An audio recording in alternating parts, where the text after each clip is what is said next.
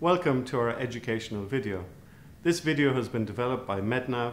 MedNav is an organisation that helps to promote women's and children's health worldwide through education and innovation. If you'd like to know more about our work or indeed support us, please visit this website link.